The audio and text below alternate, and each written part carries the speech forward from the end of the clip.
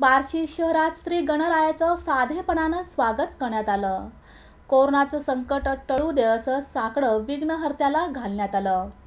दहा दिवस चालणाऱ्या गणरायाच्या स्थापनेचा आज दिवस. परंतु कोरोनामुळं या उत्सवावर सावट होतं. ना ढोल ताशा ना वाजांत्री ना बाल गोपाळांच्या आरोळ्या त्यातच गणपती विक्रीसाठी एकत्रित स्टॉल नाहीत. त्यामुळं लोकांचा उत्साह असूनही गणपतीची मूर्ती वेगवेगळ्या ठिकाणी पाहण्याची कसरत करावी लागत होती. सोशल डिस्टन्सिंगचं पालन न करता लोक खरेदीसाठी फिरत होते. सर्व प्रकारची दुकानं बाजारपेठेत सजली होती. दुकानदार ग्राहकांची वाट पाहत होते. कोरोनाच्या सावटामुळं बाजारात लोकांची तुरळक गर्दी होती. मोठ्या मंडळांना मोठ्या मूर्तीची परवानगी नसल्यामुळं तरुण वर्गातील मुलांमध्ये उत्साह नव्हता. परंतु प्रत्येकजण गणरायाची पूजा करताना हे गणराया कोरोनाचं संकट टळू दे असं म्हणत होते हे मात्र नक्की.